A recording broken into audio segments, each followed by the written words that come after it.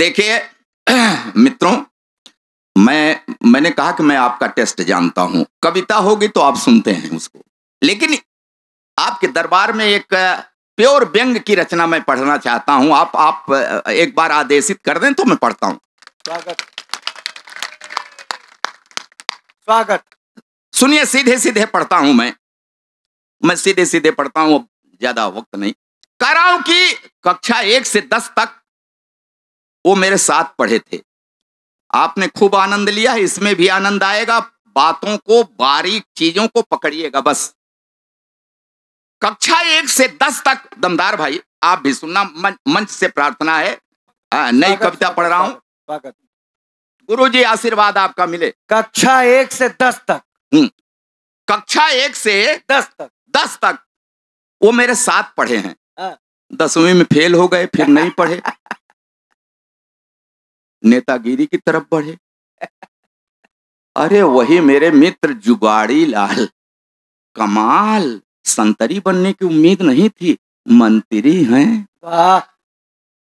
उस दिन दिन कई कई सभाएँ करके लौटे थे।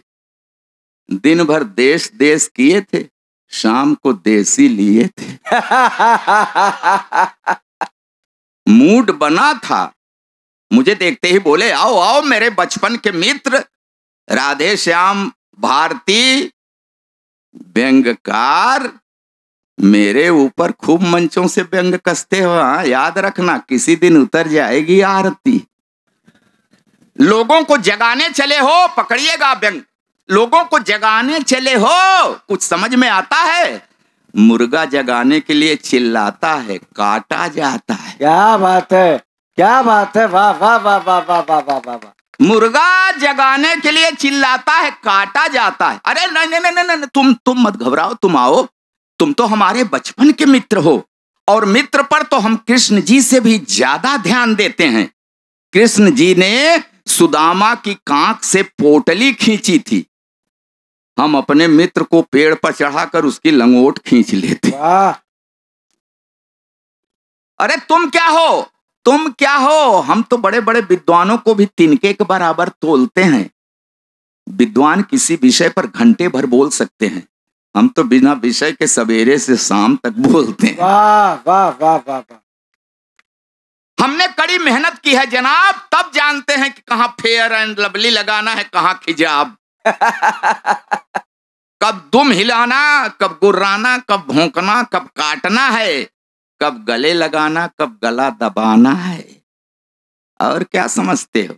और क्या समझते हो? हम ऐसे ही ताड़ जैसा तन गए हैं। क्या सुदामा से डायरेक्ट द्वारिकाधीश बन गए हैं? कड़ी साधना के बाद तब हमें सिद्धियाँ प्राप्त हुई हैं। अब हम सिद्ध पुरुष हैं। सिद्ध पुरुष! नज़र भर कर देख लें तो चेक पर किए गए दस्तखत की स्याही उड़ जाए। वाह वाह वाह वाह वाह वाह वाह वाह। उंगली का इशारा करें तो दसों दिशाओं की पवन ठिठके। बेर खाकर जहाँ गुठली थूके बरगद जमे। क्या बात है। आओ आओ आओ आज जो मंचों से मेरे ऊपर प्रश्न करते हो ना एक एक का जवाब लूँगा ढंग से तुम्हारी क्लास लूँगा एक एक प्रश्न का जवाब दूँगा। हमारी हमारे राष्ट्र प्रेम पर सवाल। पता है लोग राष्ट्र से प्रेम करते हैं हम राष्ट्रीय संपत्तियों से प्रेम करते हैं। वाह भाई क्या बात है वाह वाह वाह वाह वाह वाह। अच्छा हमने जो वादे किए थे उनको पूरा करें कि ना करें? तुमसे क्या मतलब? तुम्हारे पेट में क्यों मरोड़ उठती है? एक बात बताओ अगली बार जब हम चुनाव का नामांकन भरेंगे तो उसमें पूछा जाएगा कहीं कि जो पिछले वादे किए थे उनको पूरा किए कि नहीं? तो फिर तुम क्यों पूछते हो? ये इस अच्छी बात पर ताली बजाइए। डूब गए आप लोग। ये, ये ताली बजा के बताते रहिए कि हाँ व्यंग आप तक जा रहा है। हाँ हमने कहा था कि गरीबी हटाएँगे। अरे हम तो साफ़ साफ़ अपने चुनाव प्रचार में ही लोगों से सब साफ़ साफ़ कह देते थे। हमने कह दिया था कि आप लोगों ने अब तक जिसको जिसको जिताया सबने आप लोगों को चूना लगाया। कृपा कीजिए अब की बार हमें मौका दीजिए। भाई क्या बात है? हाँ हमने कहा था कि गरीबी हटाएँगे तो हटाया। गरीबी हटी कि नहीं ये जानने के लिए गरीबों से मत पूछो। देखो कि आंकड़ा क्या कहता है।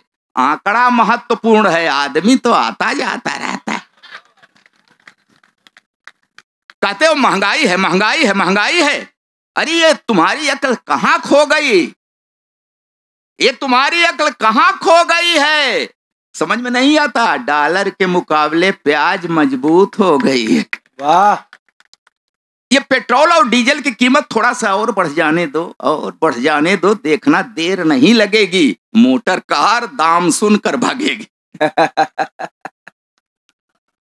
अरे भाई थोड़ा सा महँगा खरीदने खाने की आदत डालो।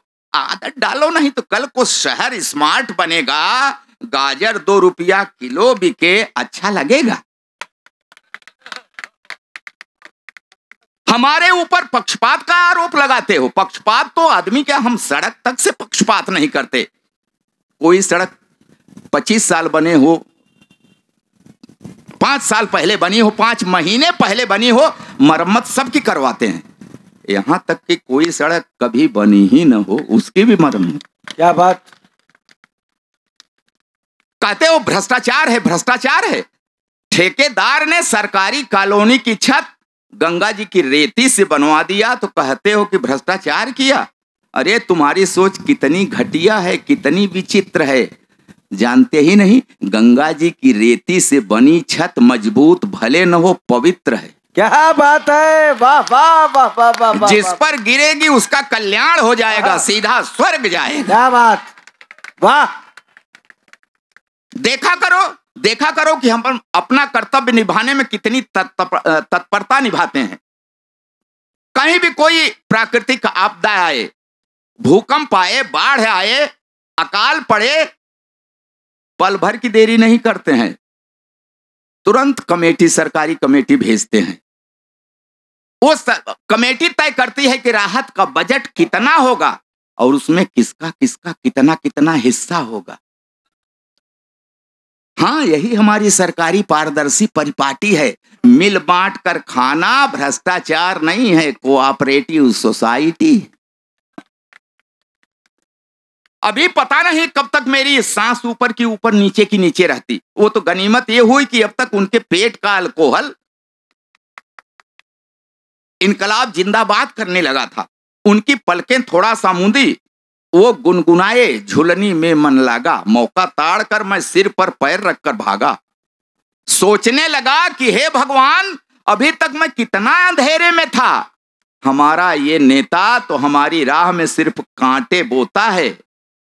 रासायनिक विश्लेषण हो तो इनके स्वभाव में वही मिलेगा जो पोटेशियम साइनाइड में होता है। वाह वाह वाह वाह वाह वाह। ये नेता नटवर नागर भीतर भीतर लकड़ बग्घा बाहर करुणा सागर आनंद कंद व्यवहार से वीरप्पन वाणी से विवेकानंद। ऐसे ही चाल चरित्र पर इन्हें दी जाती है ये किस तोपों की सलामी। पता नहीं कहाँ रह जाती है खामी।